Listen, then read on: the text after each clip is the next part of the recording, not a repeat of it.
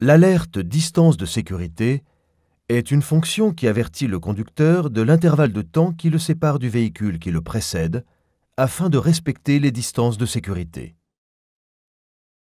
Cette fonction est indisponible lorsque le régulateur de vitesse adaptatif est activé, car cette fonction est déjà incluse dans celle du régulateur de vitesse adaptatif. Le système s'active depuis l'écran multifonction.